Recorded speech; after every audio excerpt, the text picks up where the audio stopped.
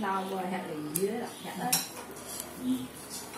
sáu hồi đốt ra hạt lì dưới bây giờ tính tính là chụp chụp chụp cũng phun à cái này nó cái con chụp nếu có thể là chụp ra lắm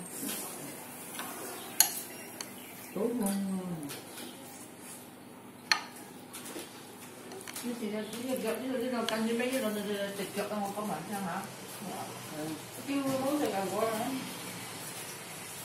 có cay không? Không có có, không cay. Cũng vẫn nhiều khỏi không? Chính vậy. Cái gì vậy?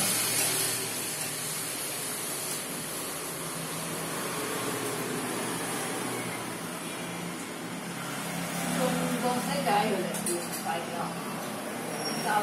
Tại tâm chỉ là nhặt lại thì mình bị cay. Anh nhặt lại không cay, dạ. dạ. Dạo qua...